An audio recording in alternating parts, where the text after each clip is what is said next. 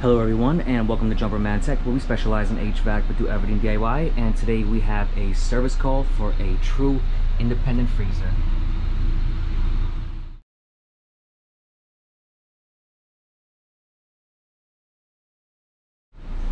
Thank you to everyone tuning into Jumperman Tech. Today we are working on a True freezer. This is a follow-up service call. As you can see we have a good majority of our setup. Right here we have pretty much the warmest temperature it can get on this gauge. This one seems to be operating at about 10 degrees. This is a follow-up visit. On my first visit i saw that everything was actually running the compressor was running the condenser fan motor was running the evaporator fan was running and the suction line was slightly cold. It's just the temperatures wouldn't go below like 55 60 degrees. And what i did was i installed a piercing valve I do have a video on how to install those. I will leave a link in this description and you might see a pop-up at any moment. So I installed that and I found the system was low on refrigerant, almost running in a vacuum. This is refrigerant 404A and pretty much it is what it is. Nothing will happen from there. While we were looking at that, I seen a bunch of oil stains and the leak was visible by ear. So this must have just happened and I totally caught it. So today we're gonna braze that shut. We're gonna remove the piercing valve and we're gonna install pigtails and we're gonna braze those in. We don't want any leaks. Right, here's the box. Let's pull this thing out. Thank God this thing is on wheels. But the way we're gonna work on this the best way is from the back. Okay, if you guys can see i got the pick i got the piercing valve here and i took off the insulation here. The leak is right here right here at this reducing coupling. Not sure if you guys can see but if you see some stains here how it's dry there and here this is all the oil that came out. So we're gonna need to braze this connection here and i also want to install the pigtail here.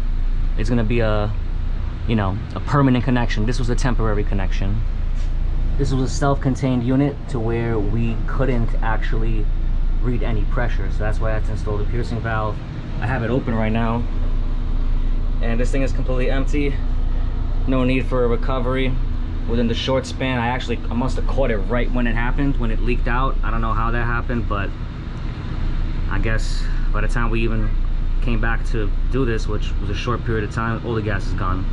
But luckily, I know exactly where it is. I'll take a quick picture of, of it. Maybe you guys can see a little gap. But we literally saw it leaking. Like we saw like the, refrigerant, like the cold was coming out. But anyways, I guess the recovery is done. Let's go ahead and get rid of that piercing valve. Let's braze in our new one. Let's patch that fitting. Let's pressurize with nitrogen. let's see what's going on here. All right, so I'm gonna use a pipe cutter to cut this edge off, brazing a pigtail, cut this edge off, brazing a pigtail, remove this, let's get something permanent. All right, let's cut this out. Should have the high side here and the other one will be the low side. And cut this out the way. Stick a pigtail in there and one in there. Let's stick this in it's a pretty good connection but I will crimp it on the edge a little bit. Right there. And the same thing for this one. It's a good connection. I'm just gonna crimp a little bit of the edge. You gotta be careful so you don't crimp the actual pipe that's gonna be reading pressure. Just want to crimp the excess of it. I'll show a picture to see what it looks like sand down around here and I'm gonna sand down this fitting. And um, let's open this thing up. Alright, I got my licensed fire guard on duty and we're gonna braze this, this, and this leak. Let's go ahead, let's light this place up. Smoke alarm is off, fire department's called off. Let's do it.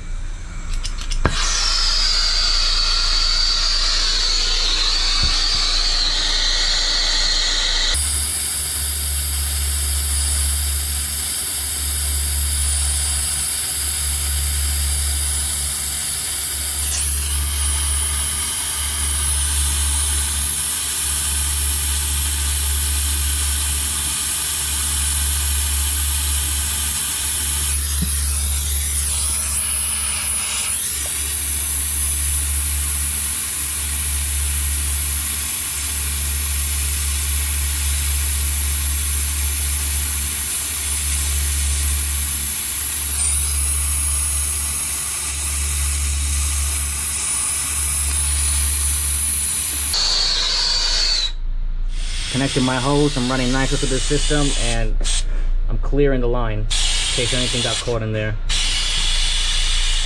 We got about 250 pounds of pressure. It is equalized. Let's go ahead and spray these connections. Make sure my braze is held here with the pigtails and most importantly right here. Make sure nothing is leaking. Give it a few minutes, but looks like we're good. All right, connected my micron gauge. Look how fast that's coming down right now. 2700, 2000. That's a beautiful thing. Go ahead and let this go. We're gonna go to lunch. Now let's let this thing run. All right, guys, I'd say it's looking pretty good. We're at 751 microns. What we're gonna do is we're gonna close this and make sure that the vacuum holds. And from there, we're gonna charge up this system. So we're done with the vacuum. Everything looking pretty decent. This is refrigerant 404A. I looked at the unit tag. It takes 10 ounces. This is a critical charge. I already purged the air out of the hoses. Here's my scale. The blue hose, I'm gonna open it up. And we're gonna wash the ounces. We need 10 ounces, but just understand, like right now, I, I did braze in two ports and I pulled a vacuum of both ports, but in the end, I closed the high side and I only kept one uh, hose on here because such and such a critical charge. When you take off the hose you're gonna lose that perfect charge. So what we have to do is actually add a little bit extra so a little bit more than 10 ounces. So when you take off the hoses there will be a full 10 ounces inside. A little bit of a guessing game here. You really want super short hoses but i don't have that. It is what it is but i'm gonna make this work. All right so here's the moment of truth. Let's watch that high side low side gauge. Is the only one connected. That should be the processing tube. I'm gonna plug this thing in.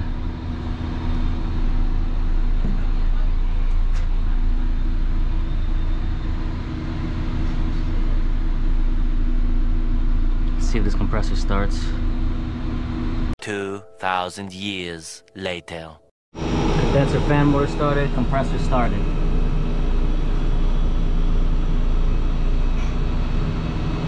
Alright, let's give this thing a chance. And let's see what happens. Alright, the evaporator fan is holding, pulling down the door switch. Let's keep this closed. Start it on its own. Let's watch this temperature gauge. Let's see what happens As far as underneath here we see 72 degrees. That must be the box temperature. When I first turned it on it was about 79 it's really hot over here. So let's see what happens. Temperatures are coming down as you can see. All right everyone we're actually at 40 degrees now. I definitely trust this a bit more than this analog gauge. According to this we're at like 55 it's a 15 degree difference. I don't think you could trust this thing. I'm gonna have to get my own thermometer in here but this is what the thermostat is going off of. All right everyone it's looking good. We're at 21 degrees. Water freezes at 32 so most of these products are to be frozen as is. This is definitely taking quite some time but it is working and it's looking good. This says we're only like in the 30s like about 34 degrees. Or really? At 21 and then this one I noticed is above 10 or so. And I look down here and it's actually zero degrees. We're currently at 18 degrees. The machine is still running. We got a perfect charge in there with the scale and everything so we should be good. We just got to give this thing some time. And this doesn't match up with the actual temperature so this should be replaced and so should this one but it is what it is. We're gonna wrap this one up here. If anyone found this video interesting or helpful please drop a like comment and subscribe as i come out with new videos every week. And i'll catch you all next time